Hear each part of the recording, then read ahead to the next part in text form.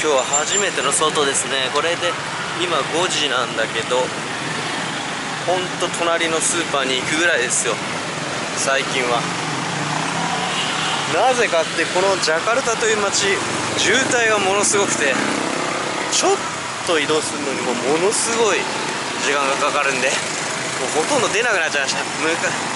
最初はね来た時はもうめっちゃもうゴジェックであのー、バイクであのバイク。ゴジェックでいろんなとこ行きまくってたんですけどね、うん、夜中の3時ぐらいまで。もう最近一切出なくなっちゃった。これが隣のでかい映画館もある。モールです。この下にお酒があるんで買いに行きますいつも。